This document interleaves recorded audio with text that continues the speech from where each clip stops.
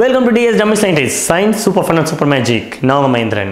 இன்றைக்கி வீடியோவில் எதை பற்றி பார்க்க போகிறோம் அப்படின்னா நம்ம எல்லாமே பைக்கு கார்லாம் வச்சுருப்போம். ஸோ அந்த பைக்கு காருக்கு தேவைப்படுற ஃபியூவலை குறைக்கணும் அப்படின்னா எப்படி எப்படிலாம் நம்ம அதை மெயின்டெனன்ஸ் பண்ணணும்? அதாவது மெயின்டெனன்ஸ் டிப்ஸை தான் இந்த வீடியோவில் பார்க்க போகிறோம் போன வீடியோவில் நான் வந்து எப்படி எப்படிலாம் அந்த பைக்கு காரை ஓட்டணும்? அதாவது டிரைவிங் டிப்ஸை பற்றி சொல்லியிருந்தேன்.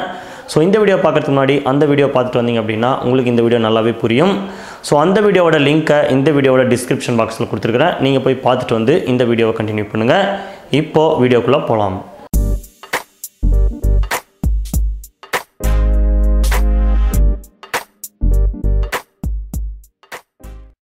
ஃபர்ஸ்ட் மெயின்டெனன்ஸ் டிப் என்ன அப்படின்னு கேட்டிங்கன்னா நம்ம பைக் கார் இன்ஜினை வந்து ரொம்பவே ஹெல்த்தியாக வச்சுக்கணும். டைமுக்கு டைமுக்கு சர்வீஸ் பண்ணி வச்சுக்கணும் அப்படின்றது தான். அப்படி நம்ம டைமுக்கு டைமுக்கு சர்வீஸ் பண்ணி வச்சோம் அப்படின்னா ஆறு பர்சன்ட் வரைக்கும் ஃபியூலை மிச்சம் பண்ண முடியும். நம்ம சர்வீஸ் பண்ணல ஒழுங்காக அப்படின்னா ஏகப்பட்ட புல்லிங் பவர் தேவைப்படும். அதே மாதிரி ஏகப்பட்ட ஃபியூவல் வேஸ்ட் ஆகும். பிளாக் ஸ்மோக் வரும்.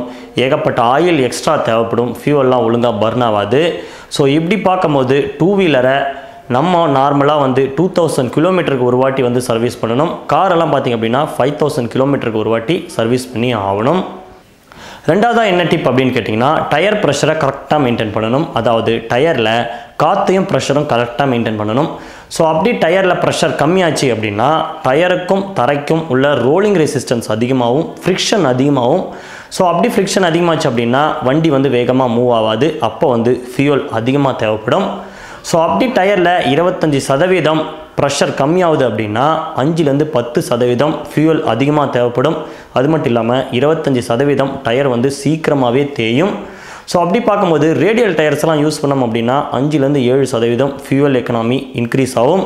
அது மட்டும் இல்லாமல் ரைடிங் கம்ஃபர்டபுளும் நல்லாயிருக்கும் மூணாவதாக என்ன டிப் அப்படின்னு கேட்டிங்கன்னா ஏர் ஃபில்டரை ஒழுங்காக க்ளீன் பண்ணும் ஒழுங்காக சேஞ்ச் பண்ணும் அப்படின்றது தான் என்ன தான் நம்ம சர்வீஸ் ஒழுங்காக பண்ணால் கூட வண்டிக்கு ஏர் ஃபில்டர் ரொம்பவே முக்கியம். ஸோ அப்படி ஏர் ஃபில்டர் ஒழுங்காக இல்லை ஏர் ஒழுங்காக ஃபில்டர் ஆகலை அப்படின்னா இன்ஜின்லலாம் ஏகப்பட்ட ஸ்கேலிங் உருவாகும். அதாவது ஏகப்பட்ட பிளாக் கார்பன்லாம் வந்து படியும். ஸோ அப்படி படிஞ்சது அப்படின்னா இன்ஜின் சீக்கிரமாக தேயும். ஸோ கிட்டத்தட்ட பார்த்தீங்க அப்படின்னா ஏர் ஃபில்டர் இல்லை ஏர் ஃபில்டர் ஒழுங்காக வேலை செய்யலை அப்படின்னா நாற்பத்தஞ்சு மடங்கு வரைக்கும் அதிகமாக இன்ஜினில் தேய்மானம் ஏற்படும். அப்போ வந்து ஏகப்பட்ட ஆயில் தேவைப்படும். டீசல் என்ஜின்லலாம் ரொம்பவே அதிகமாக தேய்மானம் ஏற்படும். ஸோ இப்படி பார்க்கும்போது ஏர் ஃபில்டரை கரெக்டாக மெயின்டைன் பண்ணுறது ரொம்பவே அவசியம்.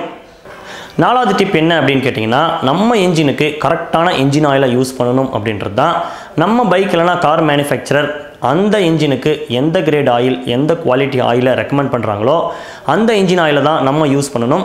ஸோ அப்படி அதை யூஸ் பண்ணாமல் எங்கெங்கேயோ டிவியில் விளம்பரத்தை பார்த்துட்டு ரொம்பவே high grade oil high quality oil ரொம்பவே திக்கான ஆயில் அப்படின்னு சொல்லிட்டு யூஸ் பண்ணோம் அப்படின்னா திக் ஆயிலுக்கெல்லாம் விஸ்காசிட்டி ரொம்பவே அதிகமாகும். அப்படி யூஸ் பண்ணோம் அப்படின்னா இன்ஜின் பார்ட்ஸ்குள்ளார ஃப்ரிக்ஷன் வந்து ரொம்பவே அதிகமாகும்.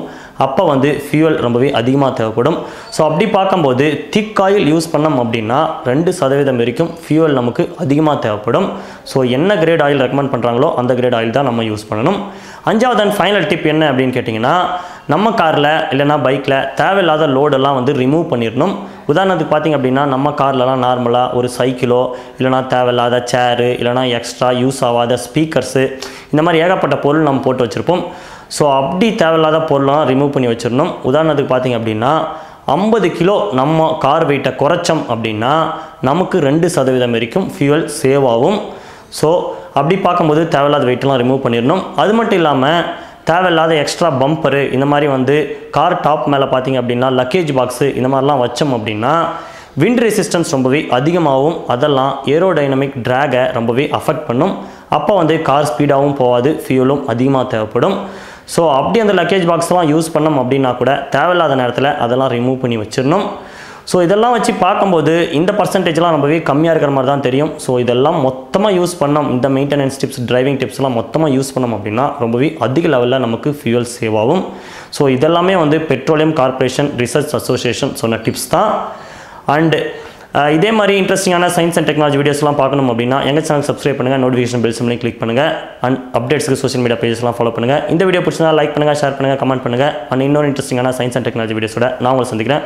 And then bye from dummy scientist science super fun and super magic